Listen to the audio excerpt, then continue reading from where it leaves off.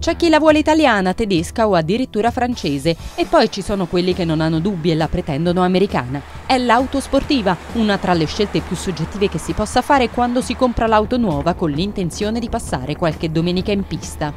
Noi l'abbiamo fatto con la Mustang GT con motore V8 da 5 litri di cilindrata, in sostanza la sorellona maggiore della più europea 2.3 EcoBoost.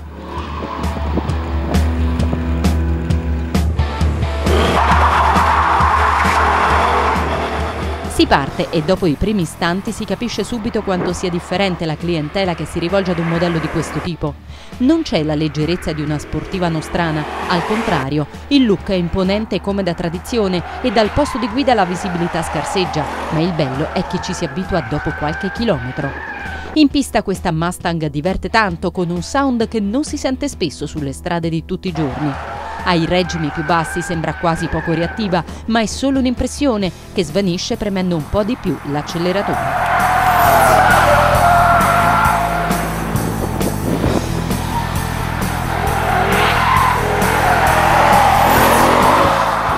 Si va via veloci fino a 4.000 giri e qui il motore cambia letteralmente voce e ci fa sentire tutti i 400 cavalli a disposizione.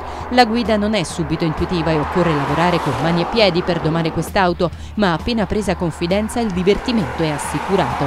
Il telaio non è più pesante come qualche anno fa e sfoggia un modernissimo multilink in alluminio che garantisce leggerezza e un'ottima tenuta di strada anche quando si esagera.